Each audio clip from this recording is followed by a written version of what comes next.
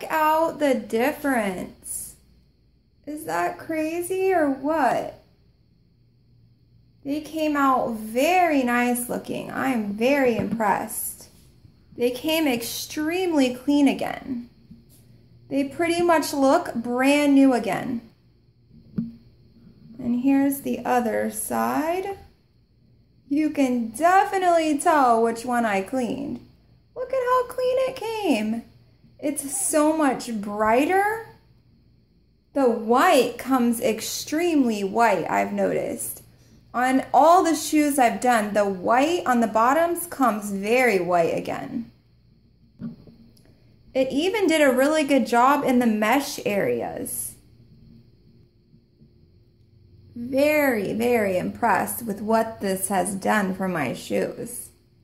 These are expensive shoes and it's so nice to be able to clean them up like new again. They literally look almost brand new again. I am so happy right now. Look at that, how white it gets the white part. Crazy.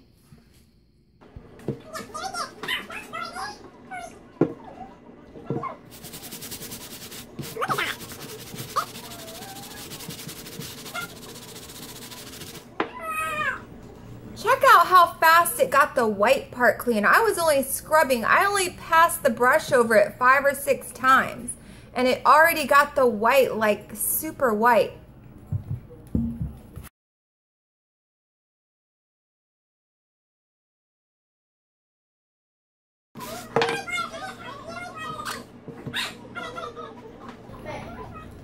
So I'm curious to see what happens back here. You can see the difference right there.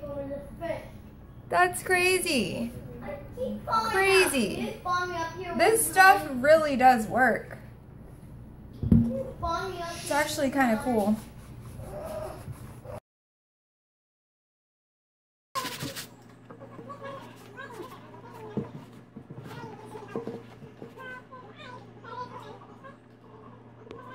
Here's another pair that came out really good.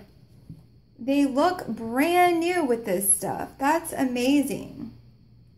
It really makes it white, which is kind of crazy. So this right here is a pair of my daughter's favorite shoes.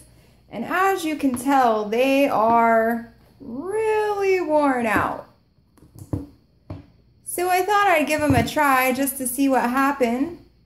They didn't come completely clean like some of the others, but I would say that that is pretty clean and I really didn't spend much time on them being that we're not going to be using them anymore. But that's pretty crazy. That got that pretty clean. That is a lot of nastiness to get off. And these are old shoes. She used them for the entire year just about every day. They were her favorite pair of shoes. So that is some stuck in dirt that came off on there. Pretty crazy. Your box, you get eight and a half ounces of this shoe cleaner. And then you also get this really great brush. So the first pair I'm gonna try out are my husband's Nikes. As you can see, he's got them pretty dirty. So I'm pretty excited to see what's gonna happen here. So the directions say to thoroughly wet your scrub brush and then you can either apply the solution to the brush or pour into the bowl with the water. I'm going to put it directly onto the brush. So I'm gonna start with the white part here.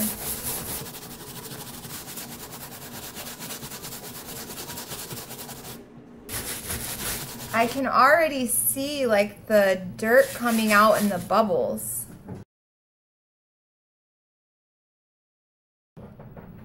They came pretty clean looking. For as dirty as they were when we started, wow, I'm impressed.